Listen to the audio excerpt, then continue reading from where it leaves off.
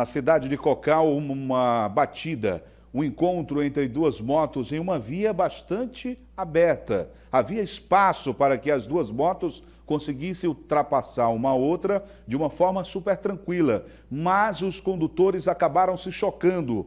Olha, a batida entre as duas motos, o encontro fatal, deixou simplesmente duas vítimas.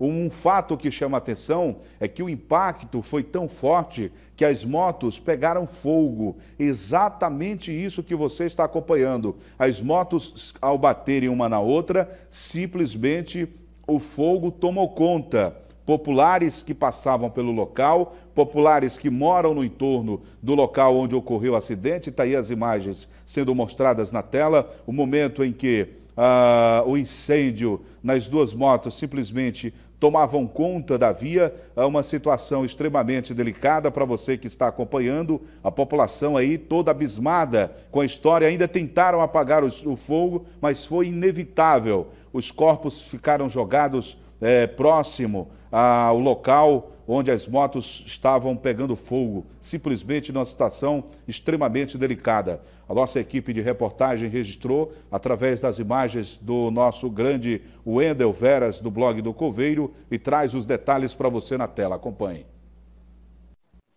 O acidente ocorreu na manhã de domingo, na PI 213, na cidade de Cocal. Duas motocicletas colidiram frontalmente os dois veículos envolvidos chegaram a pegar fogo no local. Francisco das Chagas Rodrigues, de 67 anos, teve morte instantânea. O condutor da outra moto, que não teve sua identidade revelada, também morreu. A perícia fez o levantamento de local, teve o apoio aqui do, da Guarda Municipal da cidade. Né? A gente contou aqui com um local de uma colisão entre duas motocicletas, no sentido da estrada indo para Cocal. E a informação que nós levantamos é que somente uma pessoa foi identificada até o momento, o senhor Francisco das Chagas.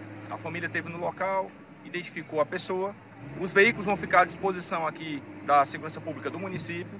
Os profissionais do Instituto Médico Legal, IML, efetuaram a remoção do corpo.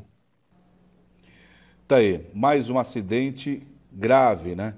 As pessoas normalmente não respeitam a sinalização, um dos fatores que tem implicado bastante é, com o aumento dos casos de acidentes. O outro fator é a falta de atenção.